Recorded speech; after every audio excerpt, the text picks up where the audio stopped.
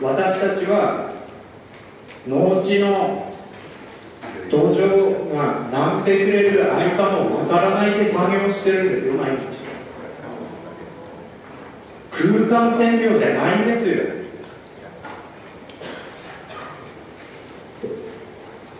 で、まあ、田んぼを除染するっていうことになって私の地区は作業員はその地区の農家の私も作業員になってやったんです仕事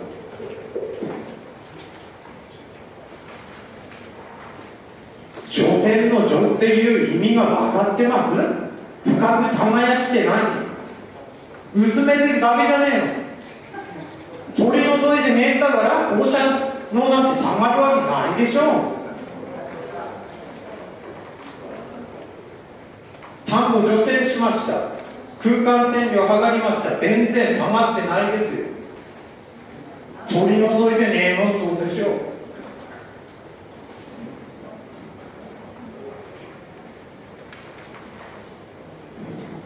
原発が爆発した当時と環境はもう2年経っても何にも変わってないんだから。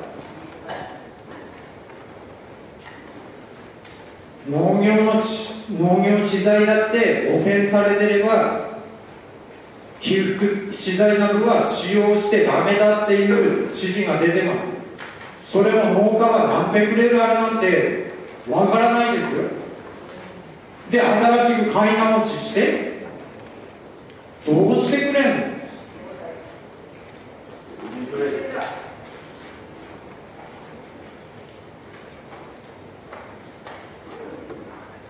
の思いっていうのをよく考えてみてください。私たちは作物を生産して安心安全なものを自分でも食べて消費者の方にも販売してそういう収穫の喜びが今はないんです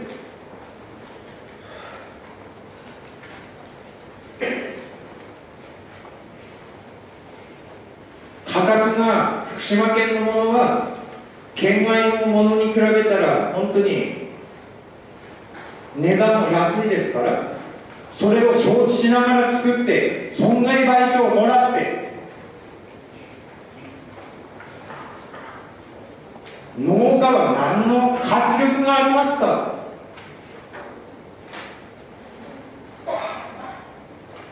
あと一つ言っておくことがあるんですけれども島県は農作物は出荷の前に全部検査しないと出荷できません。今は100ベクレル以下っていうことになってますけれども農家が生産している私は頑張りますよ。これが何ベクレルあるって。放射能要は100ベクレル以下だったら出荷できるわけですから私は食べませんよ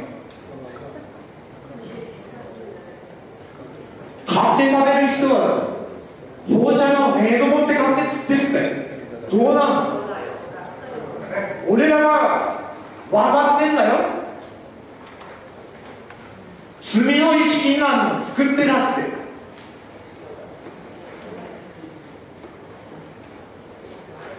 自分は食わねえけど人の人に食わせてんの。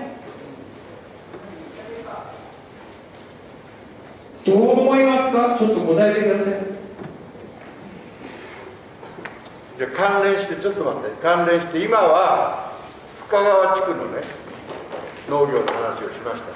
もう一つ相馬の玉野地区というところの話をします。それを含めて答えて。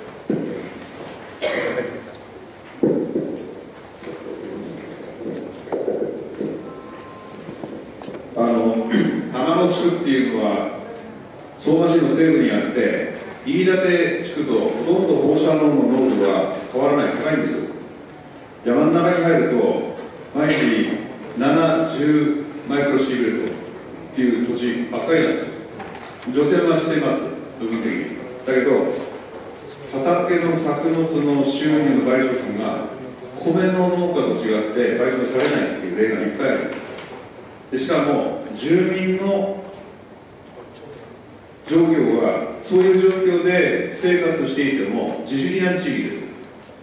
生活に対する保障も不十分。精神に対する被害保障も不十分。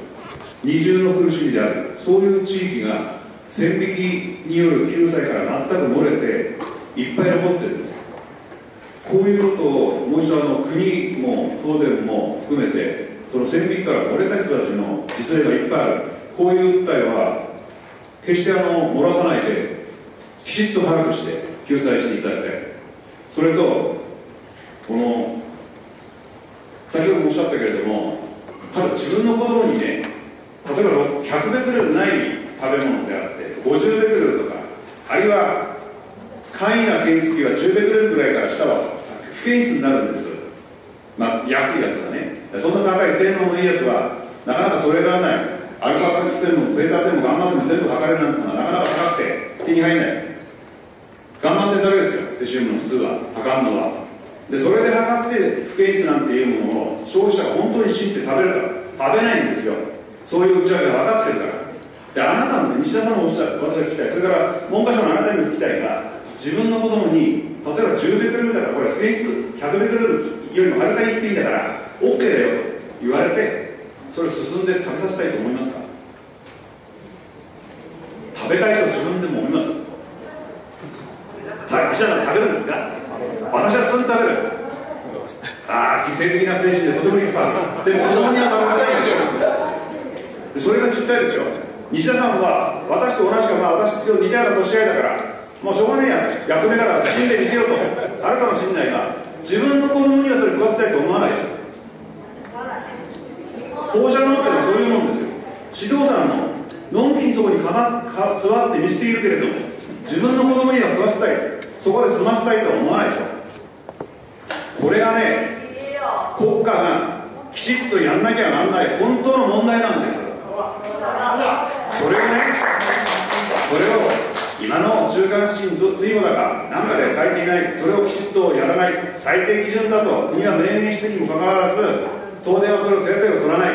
それを大の場でこうやって見て見て聞いて知っているにもかかわらず権限を持っているね規制権限を持っている国がそれに対してね一言も言わない。こんな情けないことがどこにあるか！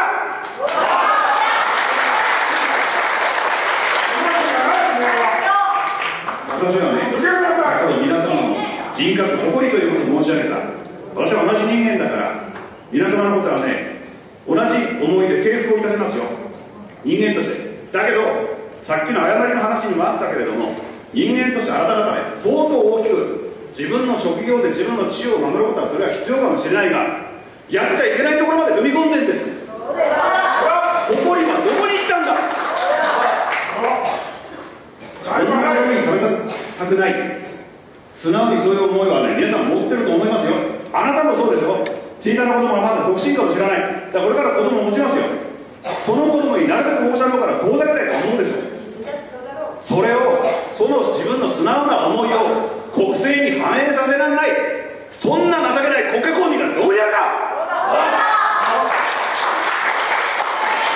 人の命を危険にさらすんだったら自分もその覚悟を持てよ誇りだろそれが人間のもちろん、あの、ご指進行量になります。なかなかその、世間一般の受け取られる方としてですね、なかなかそうなっていない実情でございますので、まあ、そうしたところはきちんと賠償で対応していくという形でございます。あの、先ほど、あの、福島のものを、えー食べれるのかというのをご指摘いただきました。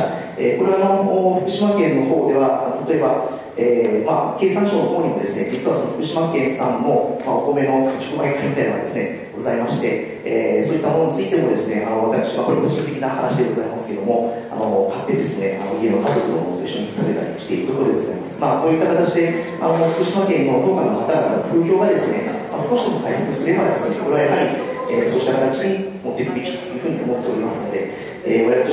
そうしたやはり安全なものは安全、やはり本当に危険なものは危険なものとしてですね、きちんと対処していかなきゃいけませんが、安全なものは安全という形でですね、これは風評の解消に努めるということをですね、国としても、え努力してまいりたいと思います。これはあの単に賠償だけの問題ではなくて、え農業政策の観点からですね、そうした風評の解消というのは、これまた農水省の方でございますけど、彼らもまた努力しているところでございますので、えやはり国としましては、えー何回も申し上げますけれども、そうした風評解消に向けた努力という形でですね、えー福島県農家の皆さんの活動をですね、えーサポートしていきたいと思います。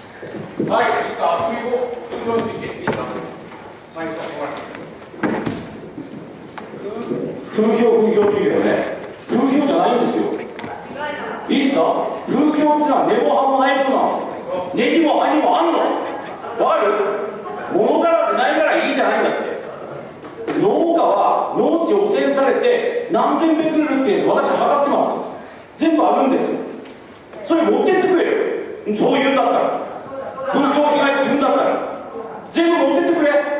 で物から出ないからいいんじゃないんだよ。わかるよね。いつも言ってるよね、ヒロさん。そういうことなんだよ。それで賠償されてるって言ってるでしょ。賠償されないの。